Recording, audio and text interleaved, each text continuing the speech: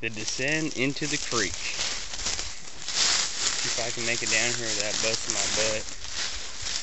Pretty steep side here.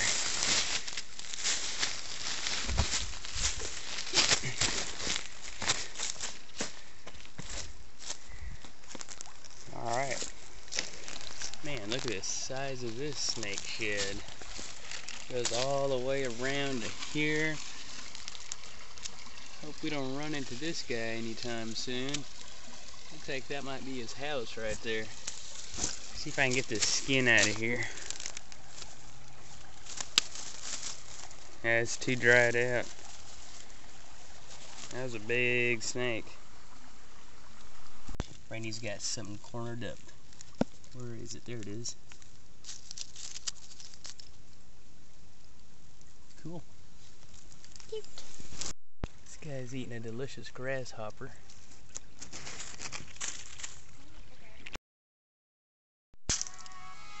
Alright, this is a technique we call cooning. You just scoop rocks out and chunk them out here. And sometimes you'll get lucky and find stuff like that. Now, I, I just found this one a couple scoops ago, but that's kind of what we do. That's pretty sweet. That's the first point I found in, uh, I don't know, maybe a week or two. I like it. Yay. This is uh, one of the snakiest parts of the creek that we got to hike through. You can see there's a lot of foliage and there's a little dam up there that holds water. Silly beavers.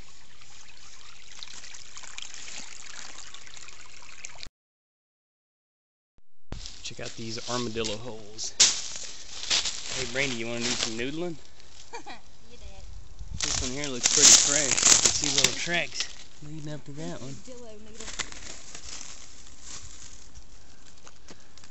I don't know if I want to stick my hand up in there. There's been something following us around the woods today.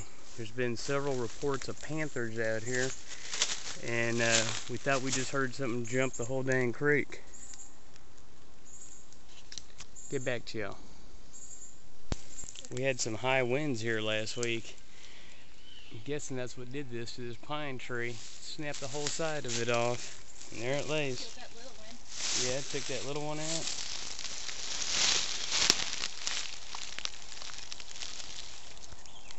What you got there? Mm-hmm. That almost made me throw up. It scared me so bad. Oh yeah? Yeah, I stepped on it. And you stepped on it? Looks like it might be a rat snake or something. Well. It's just a skin. You okay? I'm okay. Good. What you got there? It's a little dragonfly nymph. Wow, that's pretty cool. We find these in the creek all the time. Until a few years ago, we didn't know what they were. That's what a dragonfly looks like before they grow wings and fly. Hmm. Remnants of an old oyster bed. We've been trying to locate this oyster bed for years in this creek. Hadn't had any luck finding it, but we find handfuls of this stuff. Is one of the few creeks in town that has flowing water. It has two big springs that feed into it.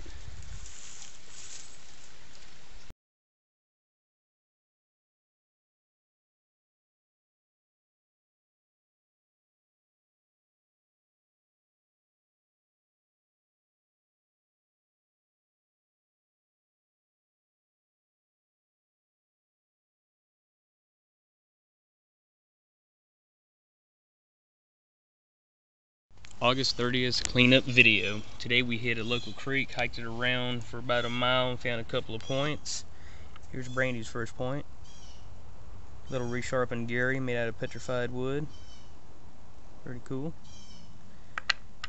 Found this little sucker. Not quite sure what type it is. Awesome material though. It's real banded. That's just how they made the tip on it, round. It's chipped all the way around. Some crude butt off of something. Here's another butt. Three knife tips here. A couple miscellaneous chips. And a little piece of East Texas amber. This stuff's awesome. It's actually a petrified sap. You'll find this on chunks of petrified wood and whatnot. Pretty cool. Alright, talk to y'all later.